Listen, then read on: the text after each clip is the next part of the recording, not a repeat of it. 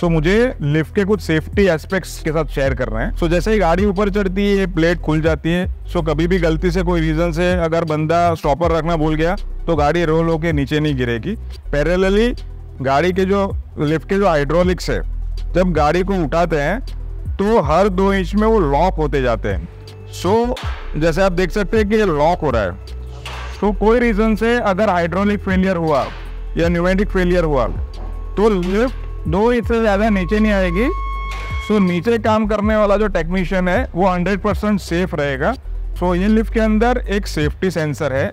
कोई रीज़न से security failure हुआ या न्यूमेटिक फेलियर हुआ तो जब लिफ्ट नीचे जा रही है अगर कोई बंदा नीचे है तो ऑटोमेटिकली लिफ्ट को वही पोजीशन में लॉक कर देगा जिसकी वजह से नीचे वाला कोई भी आदमी उसको कोई लगने का कोई चांस नहीं है वो हंड्रेड परसेंट सेफ़ है।